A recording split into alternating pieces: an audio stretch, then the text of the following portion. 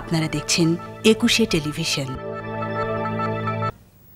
কক্সবাজারে পর্যটন শিল্পে সম্ভাবনাময় দর্শনীয় স্থান শ্বেত পাহাড়।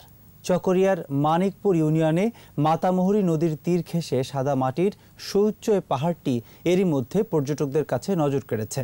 শ্বেত পাহাড় পর্যটকদের হাতছানি দিচ্ছে বলে জানিয়েছেন জেলা প্রশাসক।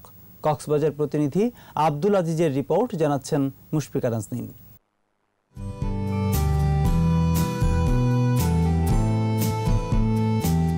নাম তার শ্বেত পাহাড়। সাদা পাহাড়ের চূড়ায় সবুজ গাছগাছালি, পাশ ঘেঁষে মাতামুহুরী নদী আর আকাশ জুড়ে সাগর রঙের মেঘ। কক্সবাজার শহর থেকে শ্বেত পাহাড়ের দূরত্ব সময়ের বিচারে গাড়ি যাত্রায় দুই ঘণ্টা জেলা প্রশাসক জানান, নতুন এই পর্যটন স্পট হাতছানি দিচ্ছে পর্যটকদের। এদিকে এরই মধ্যে উদ্বোধন করা হয়েছে নির্ভীত নিসর্গ পার্ক নামে নতুন একটি পর্যটন কেন্দ্র।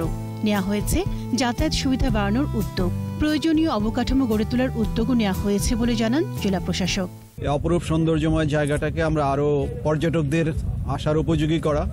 পর্যটকরা যাতে- যাতে নির্বিঘ্নে ভ্রমণ করতে পারে সেই ব্যবস্থা আমরা করব। সুরাজপুর মানিকপুর স্পটটিও পর্যটন বিকাশে গুরুত্বপূর্ণ ভূমিকা রাখবে বলে জানান এলাকাবাসী। আমরা চাই এই সুরজপুর মানিকপুর পর্যটনকে বাংলাদেশ দেখবে। মাতামহ নদীর পাশে আছে মানিকপুর সেখানে অনেক ঐতিহ্যবাহী স্থান রয়েছে। পর্যটনের নাম হলো নিবৃতে নিঃসর্গ দেশের বিভিন্ন স্থানে ছড়িয়ে রয়েছে শত পর্যটন স্পট। পরিবেশ প্রতিবেশীর দিকে খেয়াল রেখে এগুলোর বিকাশে উদ্যোগ নেওয়া জরুরি।